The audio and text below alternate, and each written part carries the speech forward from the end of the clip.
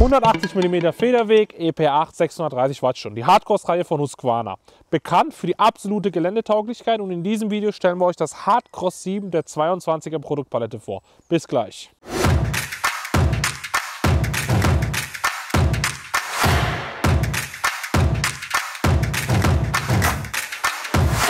Die Hardcross-Reihe 7, wie ich im Intro erzählt habe, hat 180 mm Federweg. Das ist quasi der kleine Bruder zu der Extreme Cross. Das führt dann dazu, dass ich das Fahrrad eher für den Alltag benutzen kann als das Extreme Cross.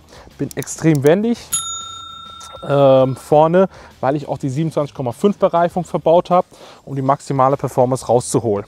Bei der Gabel habe ich jetzt Fox Z verbaut mit 38 mm Strandrohren.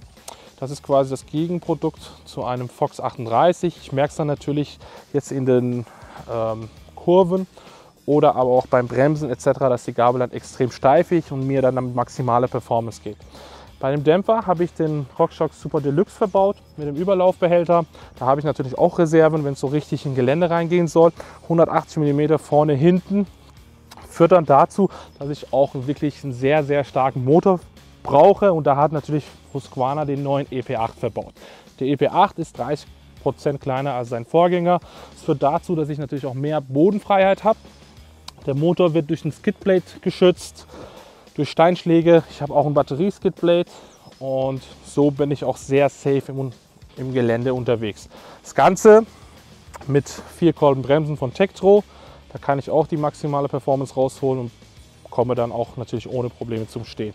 Bei der Schaltung sind wir wieder 12-Gang Eagle Ecosystem. Jetzt habe ich die SX verbaut, aber ich kann auch ohne Probleme auf GX, X01 oder XX1 AXS umsteigen. Muss es nur reinmachen, das ist dann Plug and Play und kann dann direkt losfahren.